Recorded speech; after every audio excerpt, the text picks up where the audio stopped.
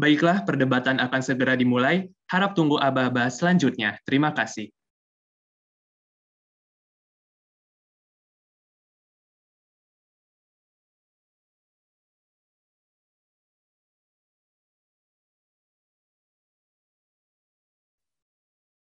Baik, dipersilakan kepada para peserta debat untuk mengganti format nama sesuai dengan ketentuan yang berlaku.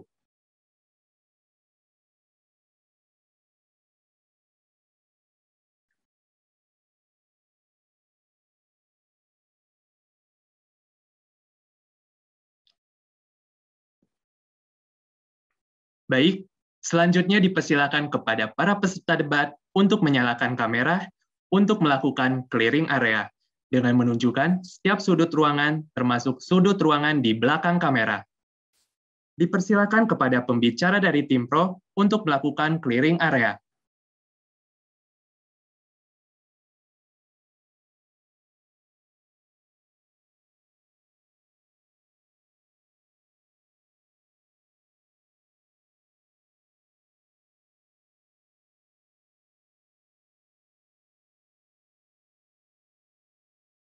Baik, terima kasih.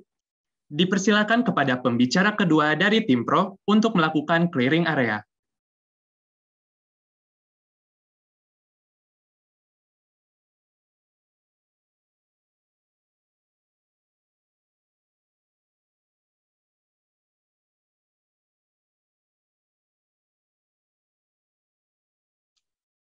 Baik, terima kasih. Dipersilakan kepada pembicara ketiga dari tim pro untuk melakukan clearing area.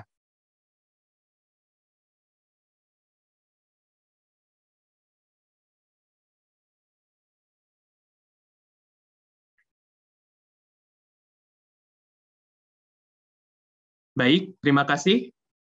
Dipersilakan kepada pembicara pertama dari tim kontra untuk melakukan clearing area.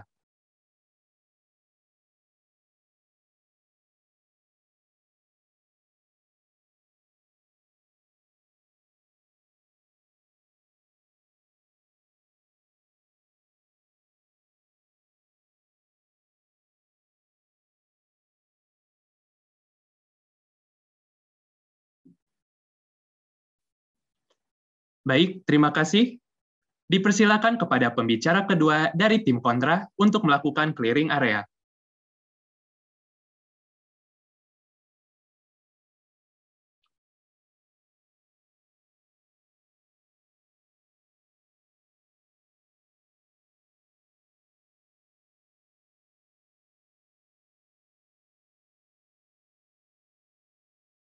Baik, terima kasih. Dipersilakan kepada pembicara ketiga dari tim kontra untuk melakukan clearing area.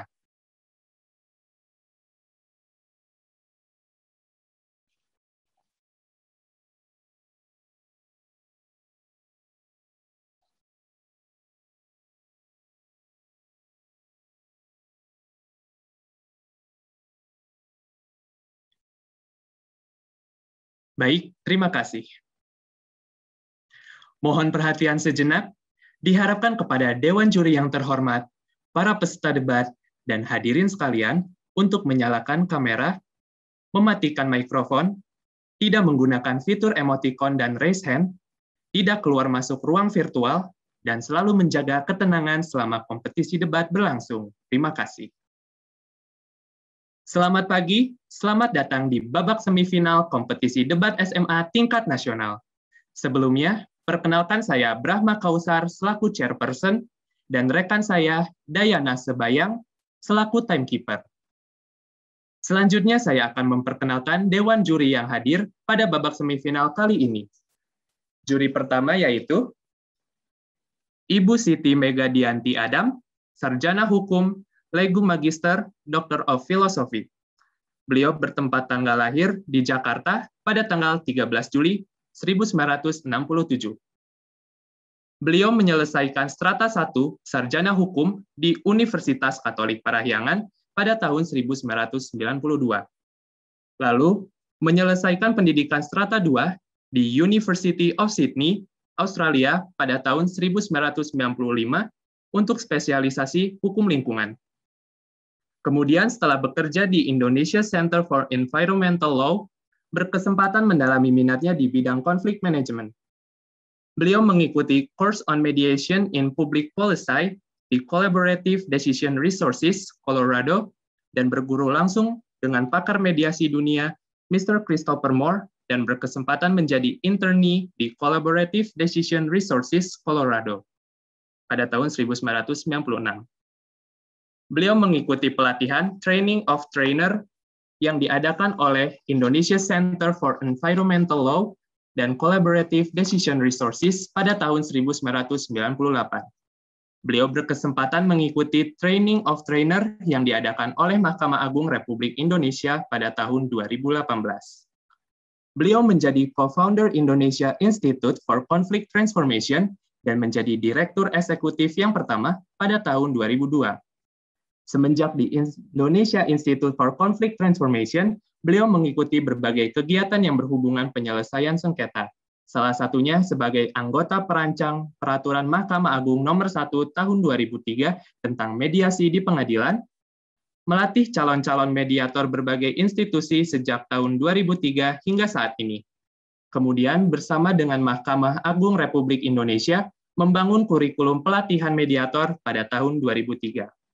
Jabatan beliau saat ini yaitu menjadi pelatih tetap dan peneliti senior di Indonesia Institute for Conflict Transformation dan sebagai anggota Dewan Pengawas Indonesian Center for Environmental Law, serta beliau masih aktif melatih berbagai institusi untuk calon mediator yang bersertifikat dan melakukan berbagai penelitian yang berkaitan dengan pilihan penyelesaian sengketa hingga saat ini.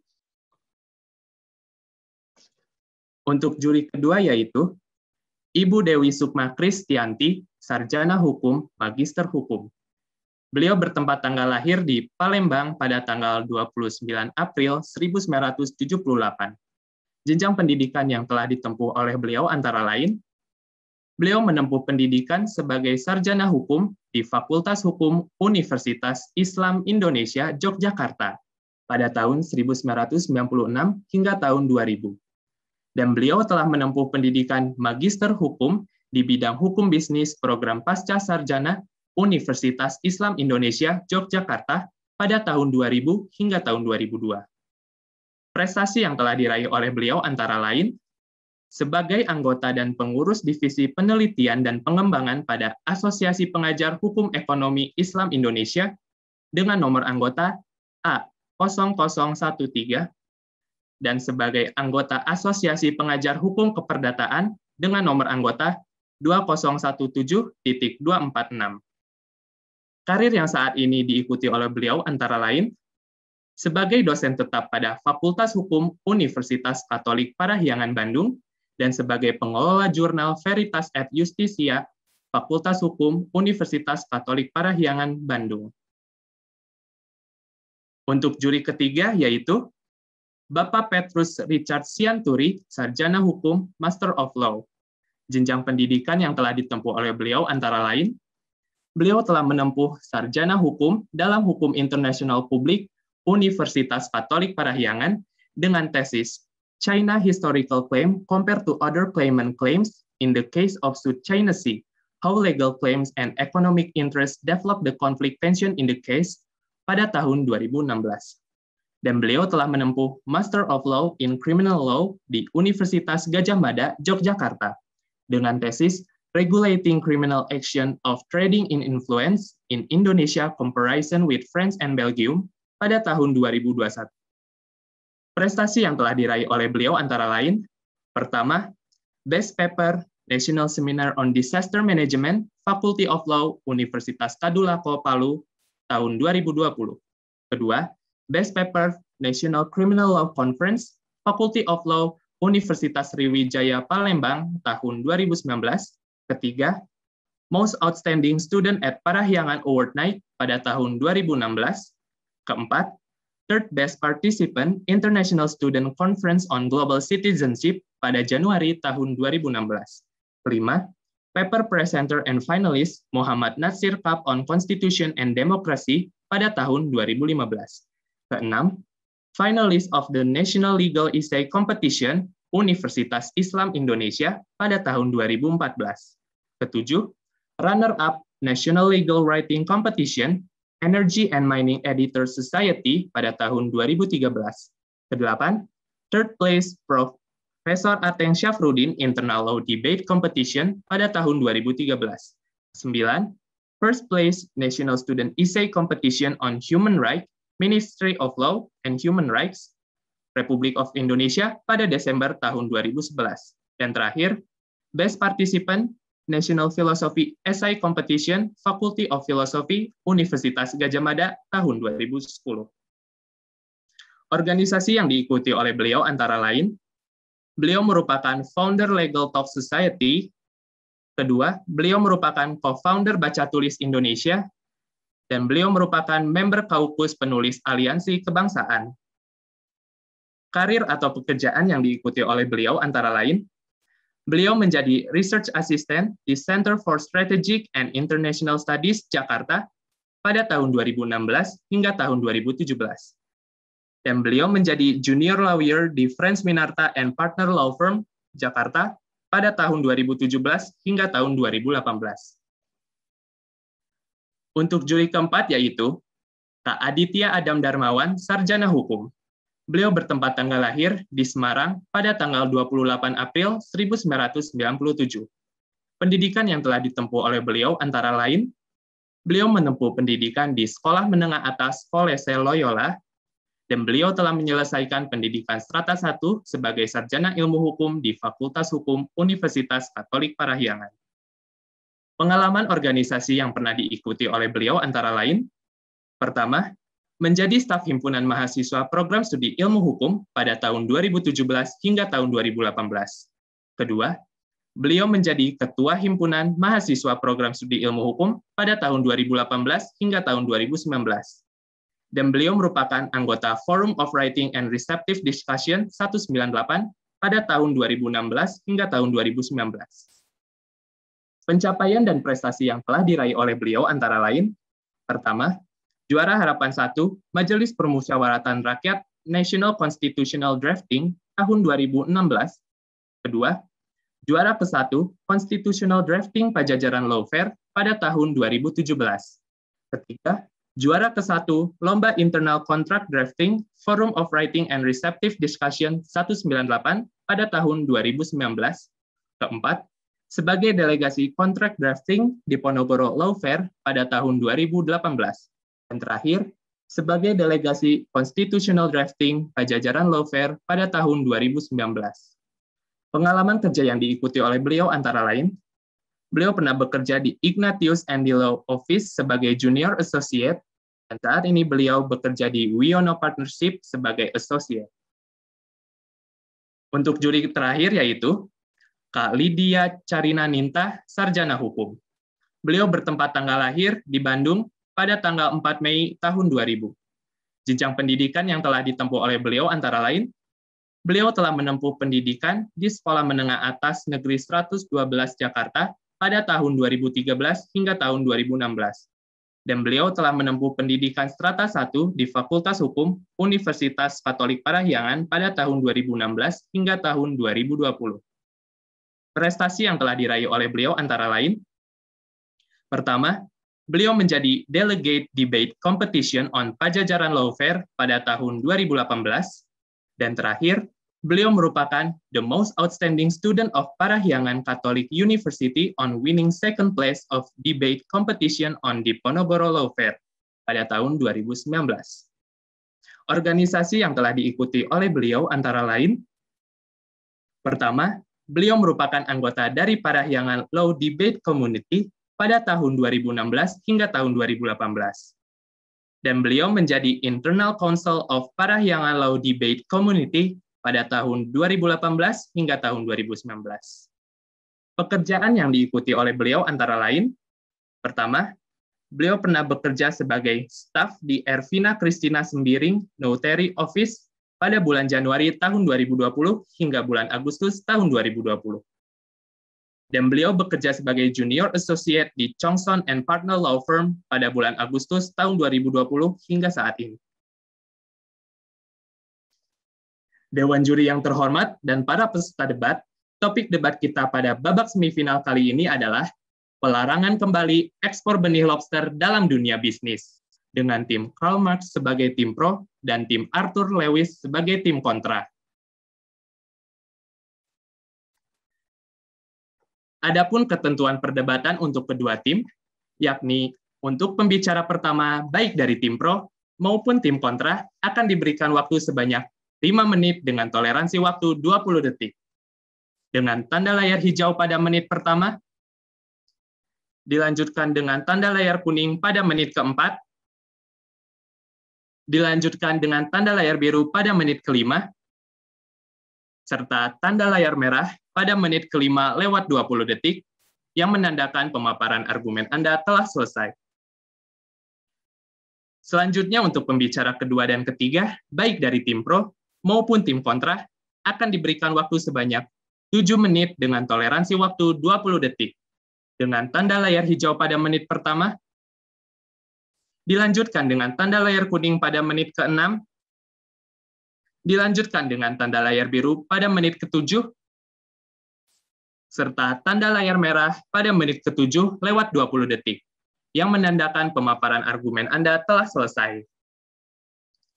Dan untuk pembicara kesimpulan, baik dari tim pro maupun tim kontra, akan diberikan waktu sebanyak 3 menit dengan toleransi waktu 20 detik.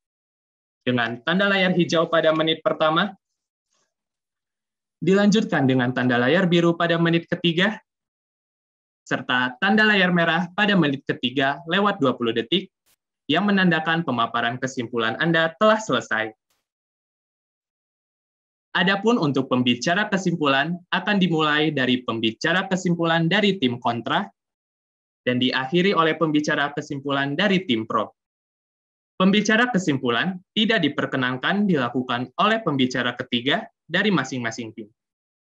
Untuk interupsi hanya dapat dilakukan kepada pembicara kedua dan ketiga dari masing-masing tim. Interupsi dapat dilakukan setelah tanda layar hijau ditampilkan dan tidak diperkenankan setelah tanda layar kuning ditampilkan. Interupsi hanya dapat dilakukan sebanyak tiga kali dengan maksimal waktu untuk masing-masing kesempatan adalah 30 detik. Setelah interupsi, peserta debat dimohon untuk kembali mematikan fitur mikrofon. Baiklah Dewan Juri yang terhormat, peserta debat dan hadirin sekalian, babak semifinal kompetisi debat SMA tingkat nasional akan segera dimulai. Dipersilakan kepada pembicara pertama dari tim pro untuk menyalakan mikrofon dan memperlihatkan seluruh wajah Anda. Silakan untuk memperkenalkan diri Anda beserta anggota Anda tanpa menyebutkan asal sekolah Anda, dilanjutkan dengan pemaparan argumen Anda. Waktu yang Anda miliki adalah 5 menit dengan toleransi waktu 20 detik. Apakah Anda sudah siap?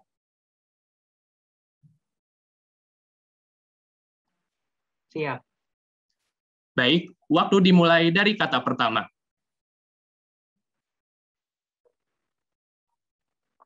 Embun datang, bunga menguntung. Surya datang, pecahlah pagi. Kuucapkan Assalamualaikum untuk kalian yang di hati. Salam Om Swastiastu, Namo Buddhaya, dan salam kebajikan. Terima kasih moderator, Dewan Juri yang terhormat, dan para audiens, serta rekan intelektual kami dari tim Kontra, yang mana pada hari ini kita duduk bersama guna menyelesaikan ketatanan negara yang terbungkus dalam mosi perdebatan yang sangat luar biasa, yaitu pelarangan kembali ekspor benih lobster di dalam dunia bisnis. Dewan juri yang terhormat, pertama-tama izinkanlah kami memperkenalkan diri terlebih dahulu. Nama saya Muhammad Faiz Muzaki sebagai pembicara pertama, Cikita Andriana sebagai pembicara kedua, dan Kurnia Sari sebagai pembicara ketiga. Dewan juri yang terhormat, saya selaku pembicara pertama tim pro akan membuka cakrawala berpikir kita dalam menentukan arah perdebatan kali ini melalui kacamata tim pro.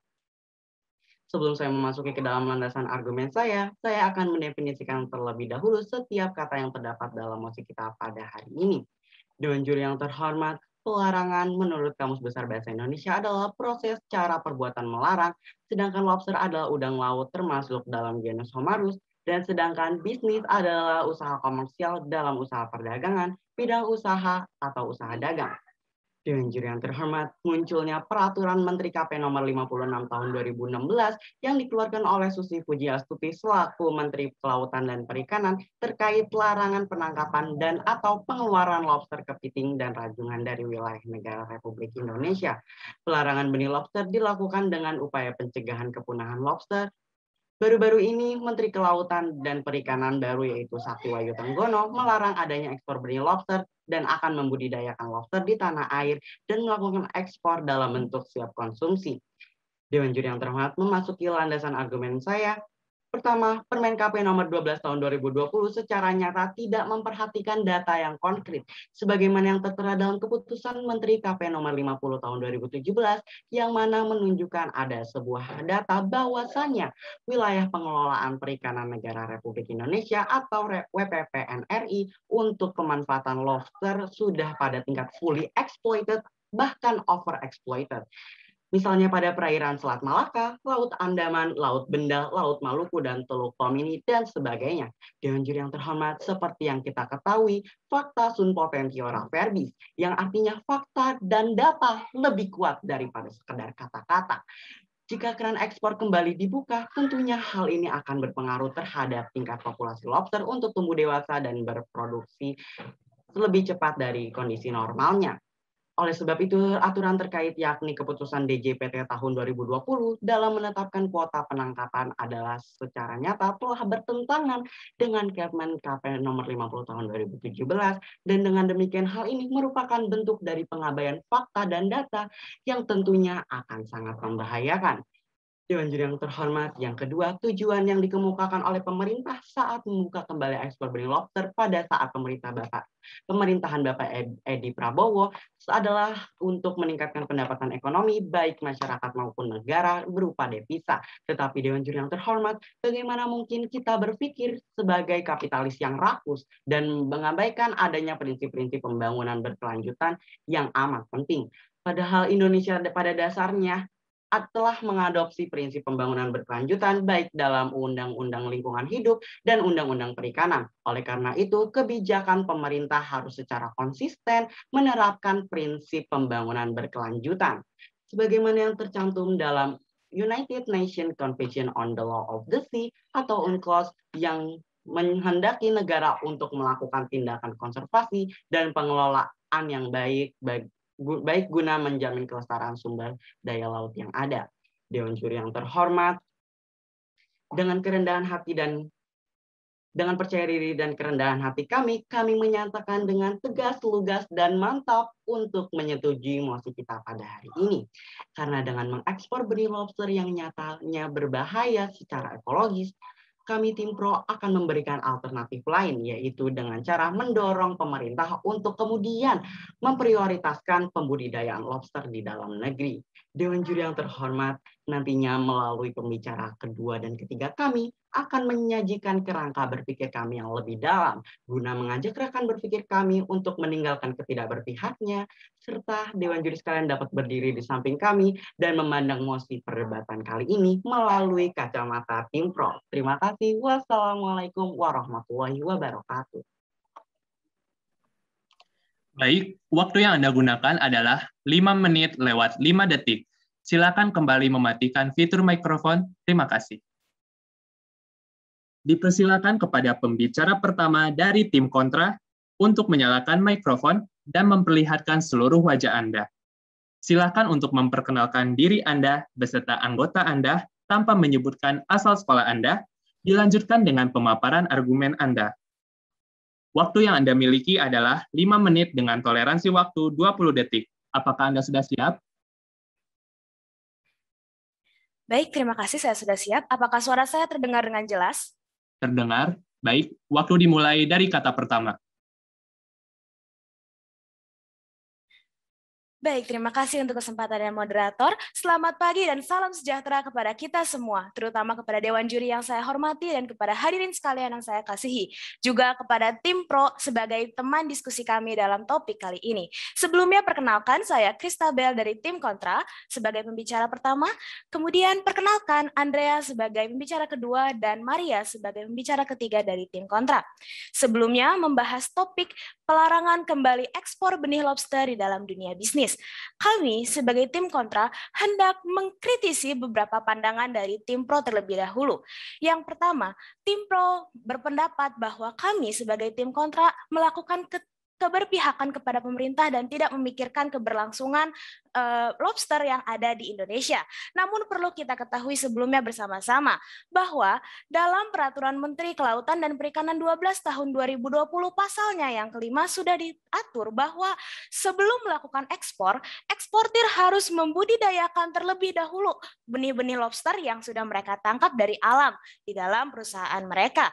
Kemudian kami sebagai tim kontra, kami tidak setuju diberlakukannya penutupan keran ekspor benih lobster. Mengapa kami tidak setuju? Kami setuju dengan adanya ekspor selama kami melakukan kuota terlebih dahulu dan tidak mengeksploitasi. Karena kami tetap harus menjaga ketersediaan benih lobster di Indonesia demi keberlangsungan lobster di Indonesia sendiri.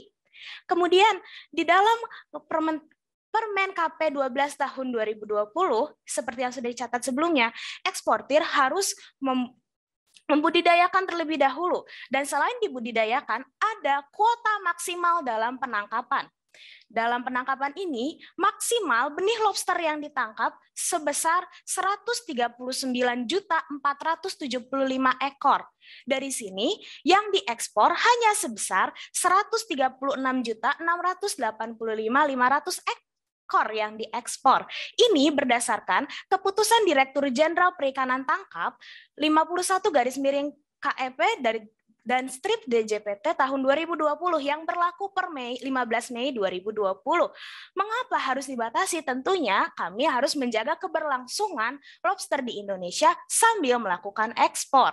Namun kenapa ekspor ini harus dilakukan?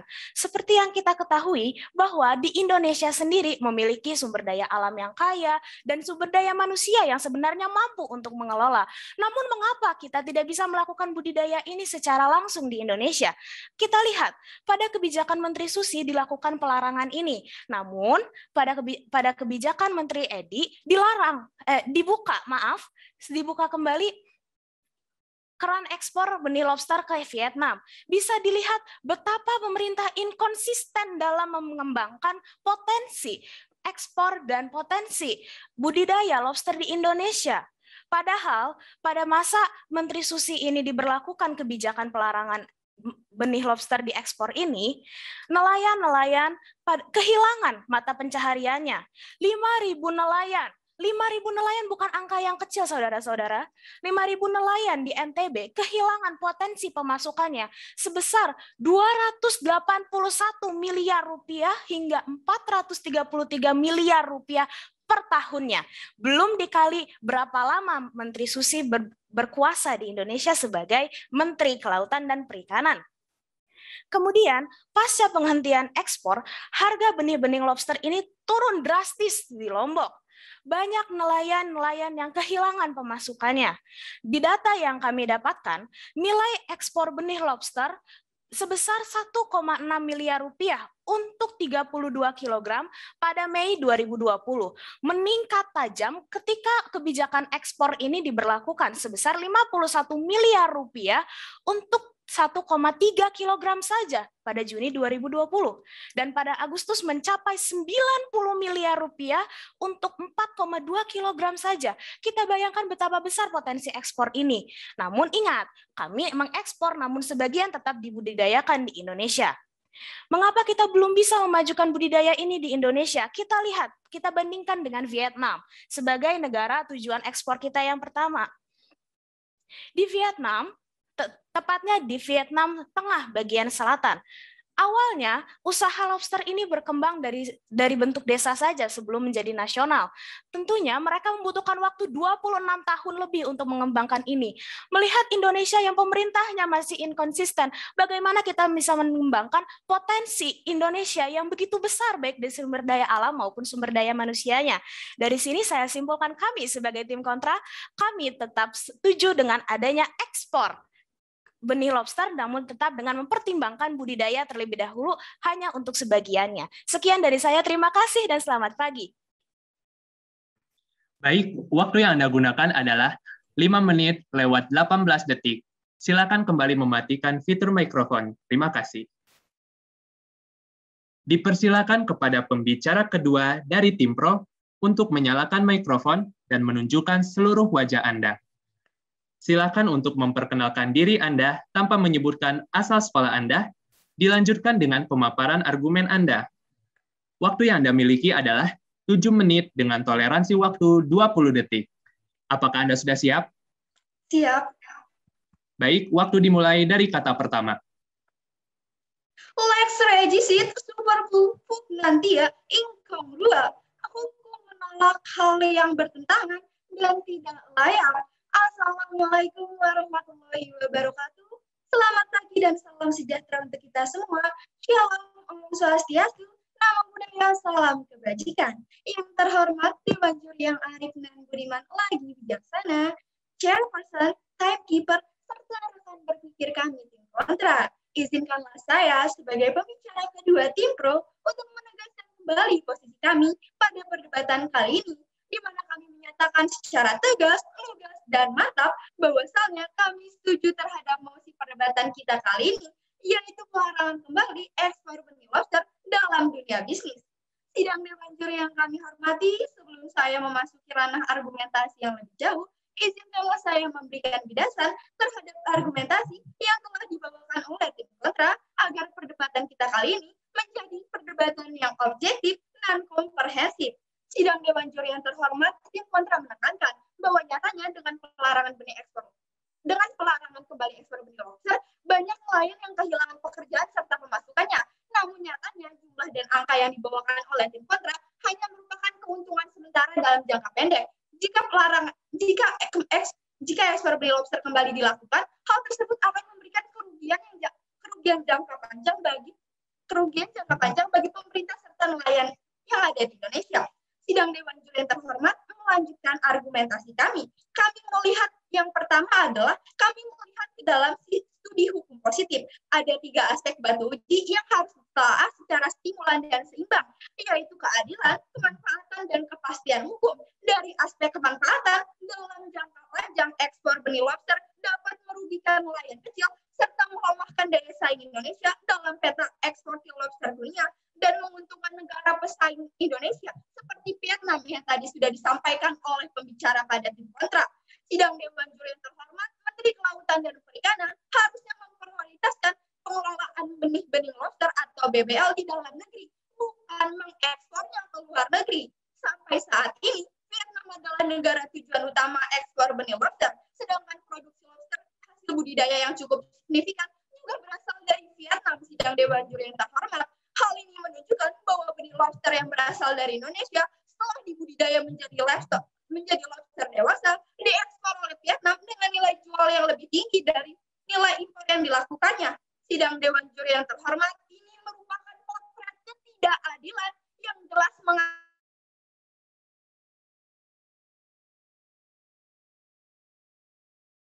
kehidupan nelayan yang terhormat nelayan korporasi transnasional.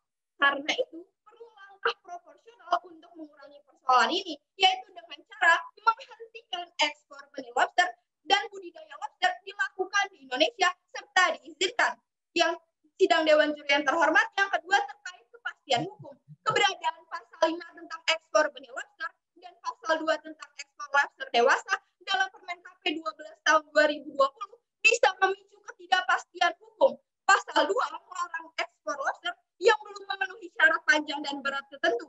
Sementara pada pasal 5 memperbolehkan ekspor bibit lobster yang panjang dan bobotnya juga di bawah standar minimal lobster ekspor. Hal ini tentu dapat memicu ketidakpastian hukum. Kepastian hukum dapat tercapai bila norma pada pasal 2 dilanjutkan dengan ketentuan larangan ekspor seluruh lobster muda dan benih yang panjang dan beratnya di bawah standar ekspor lobster dewasa. Formula ini lebih sejalan dengan aspek kemanfaatan dan kepastian hukum sidang Dewan Juri yang terhormat.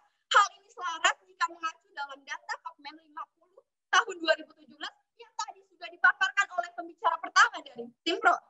Sidang Dewan Juri yang kami hormati, ekspor benih lobster akan memberikan ancaman pada penghidupan nelayan sesuai dengan apa yang dikatakan oleh Sekjen Koalisi Rakyat untuk Keadilan Perikanan, Kiara Ibu Susan Heriwati Herawati mengatakan bahwa Permen KP 12 tahun 2020 sangat pro investor asing serta eksportir yang dan tidak mengkhawatirkan sama sekali nelayan yang mengkhawatirkan nelayan kecil. Memang Dewan Juri yang terhormat dalam aturannya benih lobster harus diperoleh dari nelayan kecil penangkap benih lobster yang tertangkap yang terdaftar dalam kelompok nelayan di lokasi penangkapan benih lobster. Ketentuan tersebut mengharuskan eksportir memperoleh benih lobster dari nelayan kecil. Namun di sini yang menjadi pertanyaan bagi tim pro adalah apakah pemerintah memiliki jumlah dan data penyebaran seluruh kelompok nelayan kecil di Indonesia? Atau jangan-jangan aturan ini dibelokkan demi kepentingan perusahaan dan eksportir transnasional? Sidang Dewan Juri yang terhormat, kami sebagai tim pro juga memberikan formulasi yang terbaik, yaitu dengan cara mengizinkannya budidaya lobster di Indonesia yang dibimbing langsung oleh pemerintah dengan penyuntikan dana dan juga edukasi yang dilakukan pemerintah untuk nelayan. Yang sebelumnya dilarang pada Permen KP nomor 56 tahun 2016 pada masa pemerintahan Ibu Susi Pujiastuti dan kami juga dan melarang ekspor benih lobster yang ada pada Permen KP 12 tahun 2020 karena nyatanya Permen KP 12 tahun 2020 sangat memiliki sangat banyak kekurangan dan juga kerugian yang bisa merugikan nelayan kecil serta juga perekonomian dan tingkat ekspor Indonesia. Sidang Dewan Juri yang kami hormati, nampaknya formulasi solusi kami sesuai dengan kondisi yang ada saat ini. Hal ini bisa kita lihat bersama dengan adanya dengan adanya Permen KP nomor 17 tahun 2021 tentang pengelolaan lobster, kepiting, dan rajungan di wilayah NKRI yang disahkan Menteri Kelautan dan Perikanan Sakti Wayu Tenggono yang ia, ya, yang ia mengatakan melarang ekspor benih lobster. Maka dari itu, kami sebagai tim pro tetap teguh pendirian mendukung mosi perdebatan kali ini. Sidang Dewan Juri yang terhormat, terima kasih atas kesempatan dan waktunya. Wassalamualaikum warahmatullahi wabarakatuh. Shalom, Om Swastiastu, Namo Buddhaya, salam kebajikan. Sekian, terima kasih. Baik, Anda masih memiliki sisa waktu. Apa Anda ingin menggunakannya? Tidak cukup, terima kasih, Kak. Baik, waktu yang Anda gunakan adalah 6 menit lewat 49 detik. Silakan kembali mematikan fitur mikrofon. Terima kasih. Dipersilakan kepada pembicara kedua dari tim kontra untuk menyalakan mikrofon dan memperlihatkan seluruh wajah Anda. Silakan untuk memperkenalkan diri Anda tanpa menyebutkan asal sekolah Anda, dilanjutkan dengan pemaparan argumen Anda. Waktu yang Anda miliki adalah 7 menit dengan toleransi waktu 20 detik. Apakah Anda sudah siap? Baik, saya sudah siap. Baik, waktu dimulai dari kata pertama. Baik, terima kasih waktunya moderator. Selamat pagi Dewan Juri yang berbahagia, rekan saya dari tim kontra dan rekan berpikir dari rekan berpikir kami dari tim pro yang sama-sama saya banggakan serta hadirin sekalian yang menonton perdebatan hari ini. Perkenalkan saya Andrea sebagai pembicara kedua dari tim kontra akan mengkritisi beberapa poin dari tim pro dan memaparkan argumen mengenai emosi pelarangan kembali ekspor benih lobster dalam dunia bisnis. Sebelumnya, pembicara pertama dari dari tim kontra sudah mengatakan bahwa kami setuju dengan adanya ekspor benih lobster selama dengan pembatasan, yaitu adanya kuota sebanyak 136 juta ekor. Lalu dengan aturan bahwa sebelum mengekspor benih lobster, para produsen harus membudidayakannya terlebih dahulu sampai akhirnya diekspor dalam bentuk benih lobster. Dan untuk untuk untuk pembatasan ini hanya dilakukan di lima bandara di Indonesia, yaitu di Bandara Kuala, Kuala Namu, Bandara Soekarno-Hatta, Bandara Juanda, Bandara Ngurah Rai, dan Bandara Sultan Hasanuddin. Dan selain itu, untuk eksportir hanya mendaftarkan 26 perusahaan di Indonesia, sehingga untuk keputusan ekspor benih lobster ini tidak tidak serta-merta kami mengeksploitasi yang namanya sumber daya lobster di Indonesia, karena kami setuju dengan adanya dengan adanya ekspor benih lobster selama dengan mempertimbangkan pembatasan-pembatasan ini. Baik, ada apa?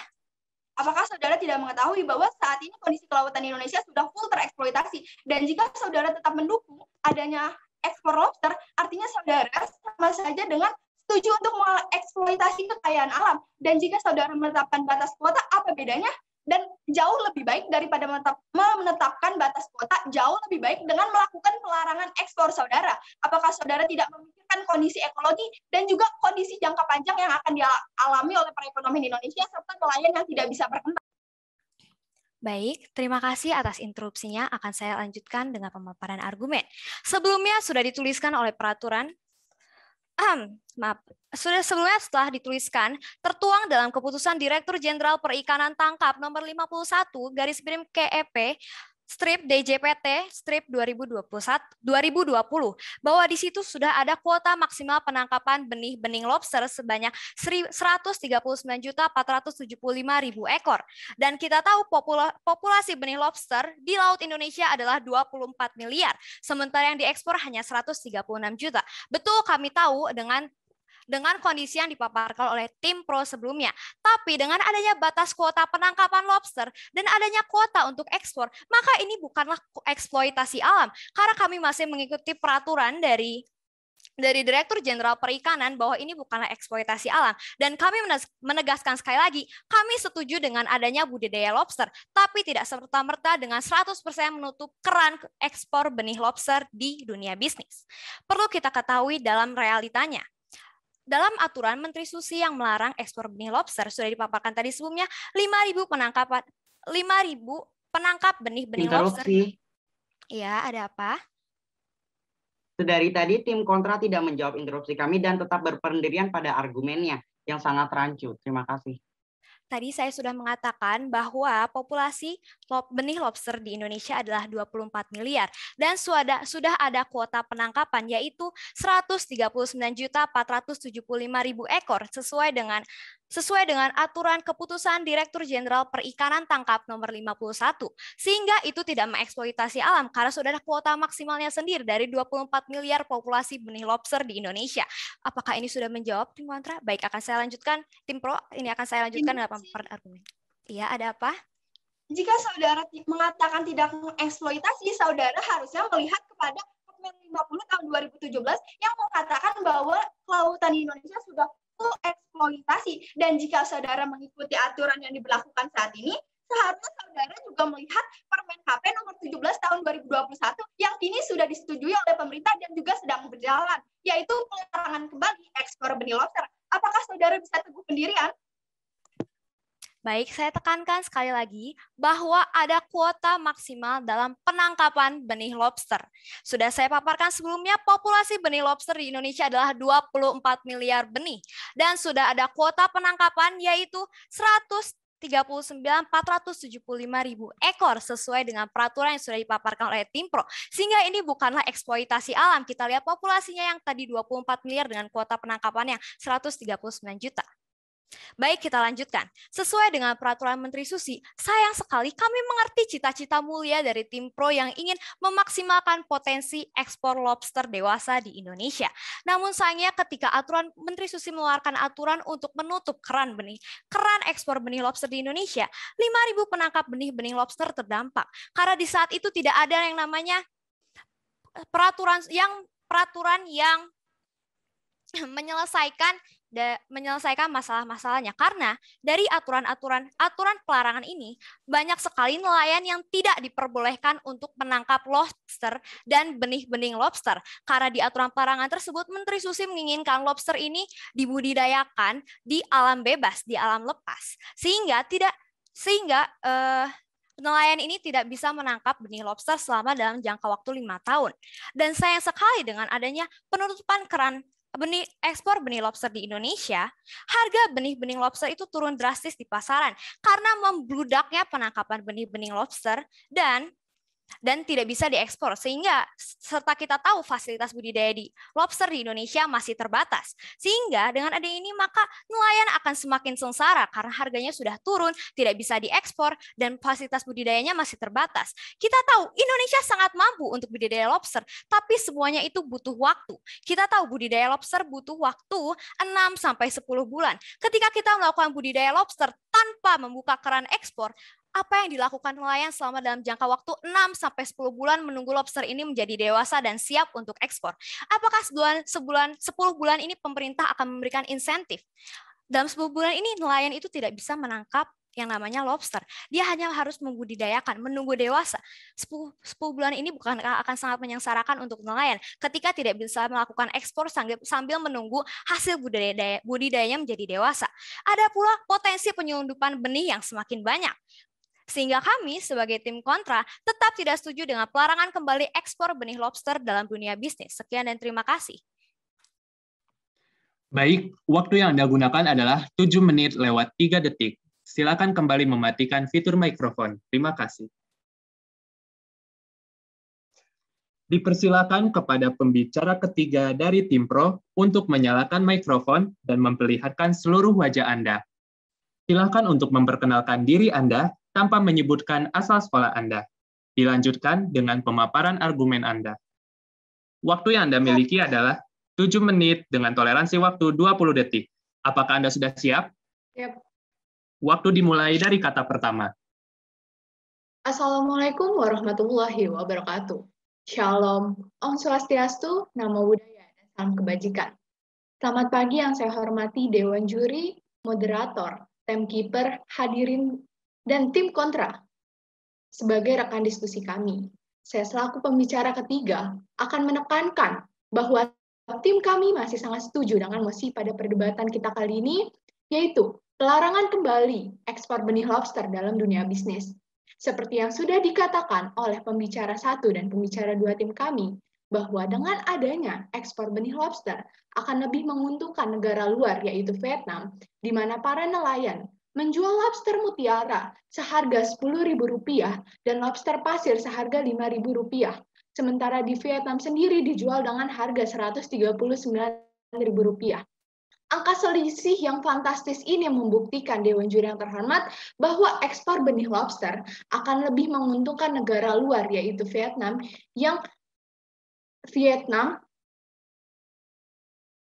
uh, yang mengambil benih lobster dari Indonesia. Lalu Dewan Juri yang terhormat, adanya ekspor benih lobster ini membahayakan ekosistem. Seperti yang sudah dikatakan oleh pembicara satu dari tim kami, bahwa uh, bahwasanya pemanfaatan lobster sudah pada tingkat fully exploited dan bahkan over exploit. Hal ini tentunya akan mengancam keberlangsungan uh, keberlangsungan lobster. Lalu Dewan Juri adanya adanya ekspor benih lobster juga akan melemahkan minat budaya budidaya lobster di dalam negeri dan dapat mengganggu ketersediaan dan keberlanjutan benih lobster. Interupsi. Instruksi saya tolak. Selanjutnya, Dewan Juri yang terhormat, hadirin sekalian, indeks seperti uh, seperti uh, prinsip indeks anim animisemo yaitu cara orang berpikir eh, cara orang bicara menunjukkan jalan berpikir. Dewan juri yang terhormat, kami merasa prihatin dengan apa yang disampaikan oleh tim kontra. Entah logika seperti apa yang dibangun dengan argumentasinya ketika mengatakan bahwasanya uh, dengan adanya ekspor benih lobster akan uh, akan membantu uh, akan membantu perekonomian dari nelayan itu sendiri. Namun Dewan Juri uh, yang menjadi pertanyaan di sini adalah ekonomi siapa yang diperjuangkan, nelayan atau korporasi transnasional? Ya, interupsi saya terima.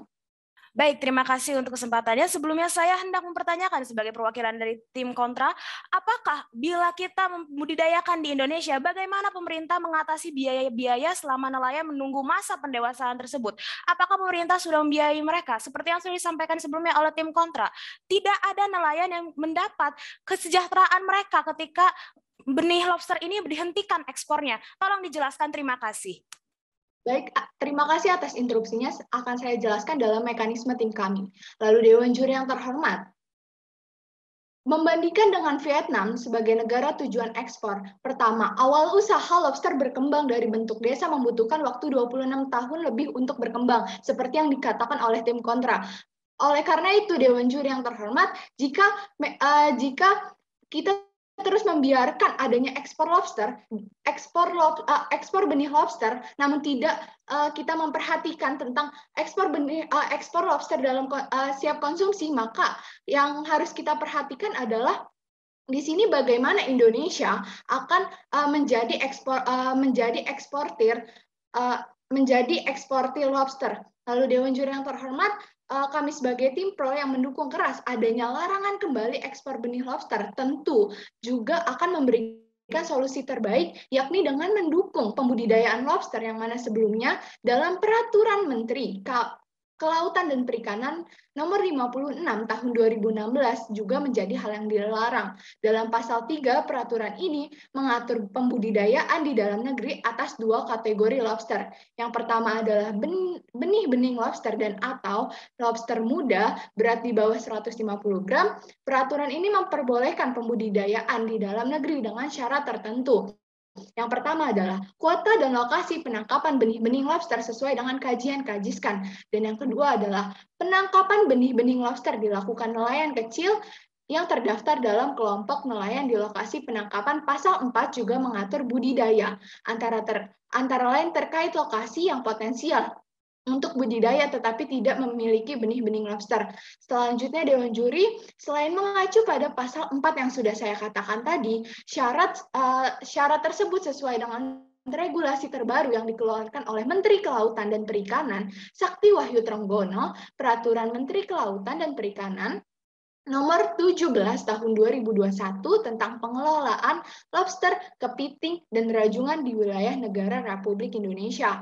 Dalam poin pembudidayaan wajib dilakukan di wilayah provinsi yang sama dengan lokasi penangkapan benih-benih lobster serta dilakukannya sosialisasi, pembinaan, dan supervisi secara berkala kepada dan pemerintah daerah provinsi, kabupaten, kota, dan kenelayan untuk menyampaikan kejelasan regulasi standar dalam pengelolaan benih lobster. Interupsi. dijawab kekhawatiran dari tim kontra yang mana uh, yang mana tadi uh, menyebutkan bahwa tidak ada regulasi yang jelas. Oleh karena itu, solusi yang dapat menyelesaikannya adalah membuat regulasi yang jelas, bukan membuka keran uh, ekspor benih lobster kembali. Lalu Dewan Juri yang interupsi Pembudidayaan lobster harus kemudian dilihat dari upaya protektif agar tidak terjadi penangkapan liar tanpa batas. Pemerintah harus memperhatikan pembukaan iklim usaha pembudidayaan lobster ini tidak hanya membesarkan pelaku usaha besar dan menempatkan nelayan kecil eh, sekedar sebagai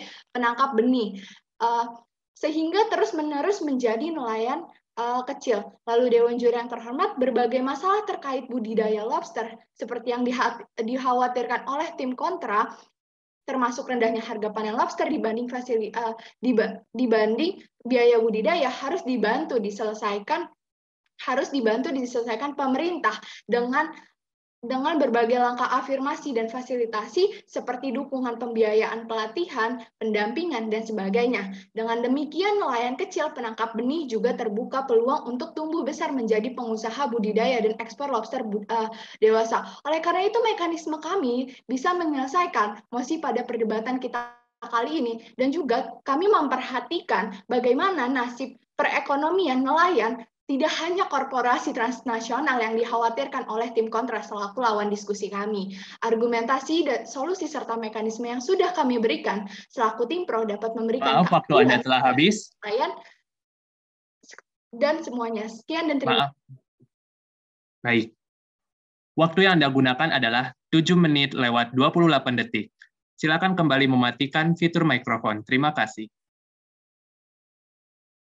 Dipersilakan kepada pembicara ketiga dari tim kontra untuk menyalakan mikrofon dan memperlihatkan seluruh wajah Anda. Silakan untuk memperkenalkan diri Anda tanpa menyebutkan asal sekolah Anda, dilanjutkan dengan pemaparan argumen Anda. Waktu yang Anda miliki adalah 7 menit dengan toleransi waktu 20 detik. Apakah Anda sudah siap? Baik, sebelum itu apakah suara saya terdengar dengan jelas? Terdengar? Baik, waktu dimulai dari kata pertama. Baik, selamat pagi dan salam sejahtera kita ucapkan untuk para hadirin sekalian dan khususnya Dewan Juri yang kami hormati dan juga rekan serta sahabat berpikir kami dari tim Pro. Pertama-tama perkenalkan nama saya Maria Domara selaku pembicara ketiga dari tim kontra untuk mosi untuk mosi pelarangan kembali ekspor benih lobster dalam dunia bisnis. Dan izinkan saya mengkritisi beberapa hal yang sudah dipaparkan dari tim pro sebelumnya. Pertama-tama mari kita lihat dulu uh, Eh, tentang 26 tahun berkembangnya Vietnam untuk bisa melakukan uh, sebe, uh, untuk melakukan budidaya lebih baik dan dan lebih budidaya ini perlu waktu yang lebih lama, lebih lama lebih dari 10 tahun. Mereka memerlukan waktu 26 tahun. Sementara kita lihat sendiri, jika kita langsung menutup uh, eksportir atau kita tidak mengizinkan ekspor yang ada di Indonesia, berarti sama saja kita akan menjebak para nelayan. Nelayan malah tidak akan sejahtera. Nelayan tidak akan mendapatkan penghasilan. Nelayan tidak akan uh, mendapatkan makannya karena apa? Karena mereka harus menunggu 6 sampai 10 bulan. Di mana kita kita tahu apakah ada biaya yang bisa men, uh, untuk sebagai bantuan sosial atau ada jaminan selama 10 bulan ini nelayan bisa mendapatkan makanan, nelayan nelayan benih lobster ini bisa mendapatkan penghasilan. Uh, lalu juga kita bisa lihat dari kami juga uh, menegaskan sekali lagi kami bukan tidak setuju untuk adanya budidaya lobster. Kami sangat setuju untuk adanya budidaya lobster. Namun kami tidak setuju bila langsung ekspor ditutup begitu saja. Jika ekspor ditutup begitu saja, lalu penghasilan untuk budidaya, untuk sosialisasi, untuk edukasi yang yang sudah digadang-gadang tim pro itu mendapatkan duit dari mana? Kita tetap perlu ekspor, kita tetap perlu penghasilan. Iya, baik diterima. Sidang Dewan Juri yang terhormat, jika tim kontra mengkhawatirkan kehidupan nelayan, apakah sekarang tim kontra tidak melihat banyak sekali nelayan Indonesia yang hidup di bawah garis kemiskinan atau prasejahtera sidang Dewan Juri yang terhormat? Dan waktu untuk budidaya lobster adalah 6 sampai 10 bulan dan itu juga bisa dilakukan secara berkala atau berganti-gantian. Dan juga maka dari itu kita harusnya memulai untuk membudidayakan bukannya terus-terusan mengekspor benih lobster Baik, terima kasih untuk interupsinya dan saya jelaskan sekali lagi, kami tidak bukan tidak setuju adanya budidaya. Kami sangat setuju adanya budidaya. Namun budidaya ini perlu waktu dan tim pro sendiri mengatakan budidaya ini perlu waktu 6 sampai 10 bulan dan kami memberikan saran yaitu kita tetap melaksanakan ekspor. Kita tetap perlu ekspor supaya apa? Supaya ada pemasukan. Jika kita melarang ekspor lalu ditambah kasus-kasus yang kita dapat, contohnya saja nelayan lobster di Lombok kehilangan pekerjaan akibat pelarangan ekspor BBL. Ini saja sudah mempengaruhi nelayan-nelayan di Lombok bagaimana mereka mau mendapat makan, bagaimana mereka bisa menghidupi kesejahteraan keluarganya, bagaimana bagaimana mereka bisa hidup jika mereka selama uh, kurun waktu 6 sampai 10 bulan ini tidak boleh mendap, uh, tidak boleh menangkap lobster. Jadi mereka mau makan apa? Mereka bagaimana bisa sejahtera? Bukankah di sini kita malah membantu pemerintah tidak hanya pemerintah, kita membantu nelayan-nelayan di sini. Kita mengajak untuk para untuk rekan-rekan sekalian berpikir bagaimana ya baik diterima. Dari tadi tim kontra hanya menyebutkan tentang nelayan-nelayan kecil. Namun pertanyaannya, apakah pemerintah punya data dan jumlah dan penyebaran seluruh kelompok nelayan kecil di Indonesia? Jangan-jangan aturan ini bisa dibelokkan demi kepentingan pengusaha ekspor transnasional. Baik, terima kasih interupsi. Namun mari kita lihat terlebih dahulu, apakah eksportir atau pekerja-pekerja pengusaha tidak memerlukan tenaga kerja, tidak memerlukan SDM-SDM sekitarnya? Kita harus berpikir lebih kritis lagi. Kita lihat jika mereka memerlukan jika mereka eksportir ditutup, sudah pasti pekerja-pekerja di dalamnya, nelayan-nelayan di dalamnya malah ditutup. Mereka tidak mendapatkan penghasilan, mereka tidak mendapatkan uang untuk menyejahterakan diri mereka sendiri, mereka tidak mendapatkan mereka tidak bisa memenuhi kebutuhan hidupnya. Lalu kita lihat lagi kebijakan Menteri Susi yang uh, dirasa kurang tuntas. Di mana jika seharusnya jika kita melihat kita mencontoh Vietnam, mereka 30 tahun konsisten melakukan budidaya, baru mereka berhasil menjadi budidaya nasional. Sementara kita tahu sendiri budidaya yang dimulai ini dari satu daerah. Baik diterima. Oleh karena itu, kita uh, selaku negara Republik Indonesia harus segera menerapkan kebijakan seperti Vietnam agar negara Indonesia bisa uh, sejajar dengan Vietnam sebagai eksportir lobster siap konsumsi. Terima kasih. Baik, sudah dipaparkan oleh pembicara-pembicara saya sebelumnya, kita setuju terhadap adanya budidaya ini dan selaku eksportir juga mereka harus membudidaya terlebih dahulu. Sebelum mengekspor perlu dicatat sekali lagi, mereka harus membudidaya terlebih dahulu sebelum mereka bisa mengekspor. Dan semuanya ini harus sudah ter, sudah memiliki regulasi yang jelas. Mereka ini sudah Selain itu kita juga bisa melihat dari keuntungan-keuntungan yang ada. Mereka ini, dengan adanya penutupan ini kita malah merugikan dari sisi eksportir dan dari sisi pekerja-pekerja di dalam eksportir ini kita tidak harusnya memikirkan tidak hanya nelayan saja kita memikirkan banyak sekali eh, masyarakat-masyarakat atau orang-orang di dalamnya yang malah terpengaruh dan akan membawa kerugian yang lebih besar. Contohnya saja, jumlah pengangguran meningkat dalam waktu singkat karena 5.000 penangkap BBL di NTB akan kehilangan potensi dan pendapatannya. Dan itu berpengaruh sebesar 281 miliar sampai 433 433 miliar per tahunnya. 433 miliar ini kita mau ditutup pakai apa? Mereka mau makan apa? Bagaimana dengan keluarga mereka? Bagaimana jika mereka adalah tulang punggung keluarga?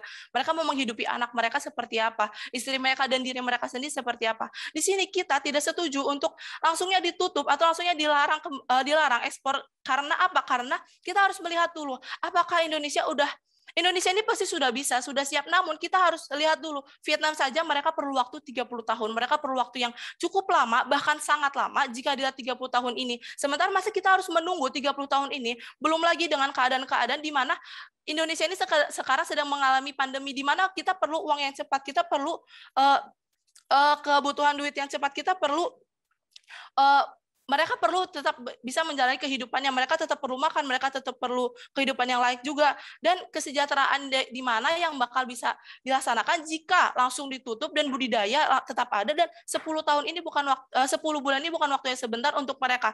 Yang ada kita malah mendukung mereka sehingga mereka tidak menjadi sejahtera dan budidaya ini perlu waktu untuk persiapan. Kita belum tahu bagaimana ke ujungnya nanti jika mereka ternyata masih banyak kendala-kendala di dalam budidaya ini. Baik Vietnam sekalipun mereka memiliki banyak kendala selama mereka membudidaya, maka mereka mereka memerlukan waktu 30 tahun. Dan saya pembicara tiga eh, dari MOSI ini tetap tidak setuju pelarangan kembali ekspor benih lobster dalam dunia bisnis. Terima kasih. Baik, Anda masih memiliki sisa waktu. Apakah Anda ingin menggunakannya? Tidak, terima kasih. Baik, waktu yang Anda gunakan adalah 6 menit lewat 57 detik. Silakan kembali mematikan fitur mikrofon. Terima kasih.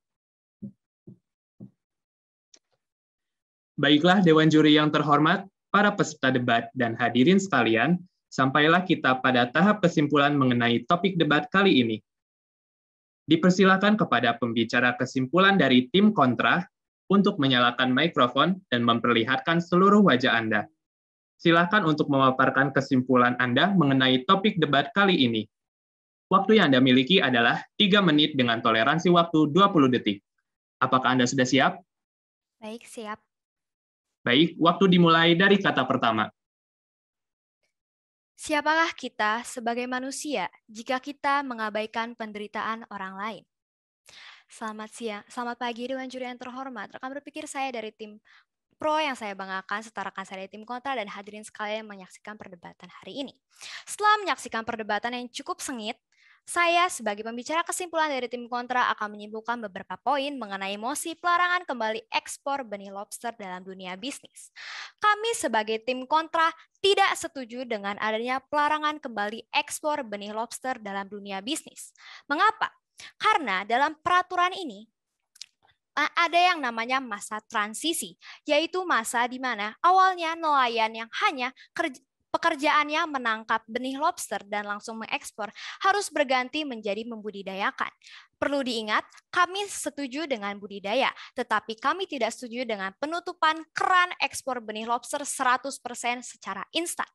Dalam proses budidaya ada yang namanya waktu untuk mengembang biakan hewan lobster dan butuh waktu 6 sampai 10 bulan. Waktu ini bukanlah waktu yang singkat. Apa yang akan dilakukan nelayan dalam waktu pendewasaan lobster ini? Selama 10 bulan ini nelayan tidak diperbolehkan untuk menangkap benih-benih lobster ini. Dan selama 10 bulan ini jika keran ekspor ditutup, maka nelayan tidak akan mendapatkan pendapatan, tidak akan mendapatkan pemasukan karena hanya menunggu lobsternya menjadi dewasa. Sekalipun ada yang namanya sistem secara bergilir, tetap akan memakan waktu 6 sampai 10 bulan. Sehingga kami sebagai tim kontra tetap setuju dengan adanya ekspor benih lobster dalam dunia bisnis selama ekspor ini dalam kuota yaitu 136 juta ekor hanya dilakukan di lima bandara di Indonesia. Bandara Kuala Namu, Bandara Soekarno-Hatta, Bandara Juanda, Bandara Ngurah Rai, dan Bandara Sultan Hasanuddin. Dan perlu kami tegaskan, dengan adanya ekspor benih-benih lobster ini bukan berarti kami mengeksploitasi alam karena sudah tertera aturan penangkapan benih-benih lobster. Sehingga dengan adanya ekspor ini kami tetap mendukung adanya budidaya, namun kami juga terus meng setuju dengan adanya ekspor benih lobster dalam dunia bisnis. Karena bagaimanapun juga yang namanya edukasi, yang namanya sosialisasi untuk budidaya lobster di Indonesia membutuhkan waktu. Dan dalam rentang waktu itu kita tidak bisa begitu saja menutup keran ekspor benih-benih lobster. Karena sebuah, karena cita-cita yang ingin kita capai adalah menjadikan Indonesia sebagai salah satu eksportir lobster dewasa terbesar di dunia. Namun untuk mencapai cita-cita tersebut ada proses yang harus kita jalani. Salah satu prosesnya adalah dengan memaksimalkan budidaya dengan tetap tidak menutup pelarangan kembali ekspor benih lobster dalam dunia bisnis. Sehingga kami sebagai tim kontra tetap berbahagia dan setuju dengan ekspor benih lobster dalam dunia bisnis. Sekian dan terima kasih. Baik, waktu yang Anda gunakan adalah 3 menit lewat 2 detik. Silakan kembali mematikan fitur mikrofon. Terima kasih. Dipersilakan kepada pembicara kesimpulan dari tim pro untuk menyalakan mikrofon dan memperlihatkan seluruh wajah Anda. Silakan untuk memaparkan kesimpulan Anda mengenai topik debat kali ini. Waktu yang Anda miliki adalah 3 menit dengan toleransi waktu 20 detik. Apakah Anda sudah siap? Siap, tapi sebelumnya apakah suara saya terdengar dengan jelas? Terdengar. Baik, waktu dimulai dari kata pertama. Indeks animis sermo, cara orang bicara, berbicara menunjukkan jalan berpikirnya. Assalamualaikum warahmatullahi wabarakatuh. Yang terhormat Dewan Juri sekalian, telah sampailah kita pada perhujung perdebatan kali ini, di mana kami sebagai tim pro tetap teguh pada pendirian kami menyetujui mosi perdebatan kali ini. Dewan Juri yang terhormat, kami merasa sangat prihatin dengan apa yang disampaikan oleh tim kontra. Entah logika berpikir seperti apa yang dibangun dalam argumentasinya, ketika mengatakan lebih baik membuka ekspor untuk mengatasi masalah penyelundupan benih lobster. Dewan juri yang terhormat, jika permasalahan yang dikhawatirkan tim kontra adalah penyelundupan, maka yang harus diperbaikinya adalah dengan cara memperkuat regulasi yang ada, serta dengan melakukan koordinasi kepada seluruh stakeholder terkait. Kemudian sidang Dewan Juri yang terhormat, tim kontra juga mengiyakan bahwa untuk menjadi menjadi negara pengekspor lobster utama di, di dunia internasional memerlukan waktu. Maka dari itu, kalau kita tidak mulai dari sekarang, kapan kita akan memulainya Dewan Juri yang terhormat? Sidang Dewan Juri yang terhormat, waktu 10 bulan tidak sebanding dengan kerugian yang dialami oleh nelayan yang kebanyakan kualitas hidupnya di bawah standar atau di bawah garis kemiskinan. Maka dari itu, kami sebagai tim pro memberikan regulasi, solusi, serta mekanisme yang jelas yaitu dengan cara menghentikan ekspor benih lobster dan mulai membudidayakannya di negara kita sendiri di tanah air Indonesia. Sidang Dewan Juri yang kami hormati, jika waktu 10 bulan dianggap akan menyengsarakan masyarakat, bagaimana dengan waktu puluhan tahun lalu ketika masyarakat Indonesia mengekspor benih lobster dan banyak sekali masyarakat nelayan lobster yang hidup di bawah garis kemiskinan. Dan maka dari itu, kita harus mulai membudidayakan lobster sekarang dan menghentikan ekspor lobster. Justru dan bahkan dikarenakan sekarang masa pandemi, kita harus mulai kita harus mulai melangkah lebih jauh dan melangkah lebih cepat dari negara lain agar kita bisa mengejar ketertinggalan kita dengan negara Vietnam yang ini sekarang menjadi negara ekspor lobster dewasa atau siap konsumsi yang sangat baik. Sinang Dewan Juri yang kami hormati, kami juga melihat ke dalam berbagai sisi sisi hukum yaitu ke dalam hukum positif ada tiga aspek batu uji yang diabaikan oleh tim kontra di sini yaitu tentang keadilan, kemanfaatan, dan kepastian hukum yang ada yang sudah sangat jelas ditinggalkan oleh tim kontra. Dan sepertinya tim kontra juga tidak mengetahui bahwa sekarang sudah ada Permen KP nomor 17 tahun 2021 yang melarang ekspor benih lobster. Maka dari itu, kami sebagai tim pro semakin teguh pendirian untuk menyetujui mosi perdebatan kita kali ini sidang Dewan Juri yang terhormat dan rasanya tim kontra tidak mampu menggoyahkan argumentasi kami karena ia tidak mampu memberikan argumentasi, mekanisme, serta solusi yang jelas. Maka dari itu, kami sebagai tim pro mengajak Dewan Juri serta hadirin sekalian di sini untuk berdiri bersama kami menyetujui mosi perdebatan kali ini. Sekian, terima kasih. Wassalamualaikum warahmatullahi wabarakatuh. Baik, waktu yang Anda gunakan adalah 3 menit lewat 9 detik. Silakan kembali mematikan fitur mikrofon. Terima kasih. Baiklah Dewan Juri yang terhormat, para peserta debat dan hadirin sekalian, babak semifinal debat SMA tingkat nasional telah selesai. Dipersilakan kepada para peserta debat serta para pendukung untuk keluar dari ruang debat virtual. Terima kasih. Terima kasih. Terima kasih.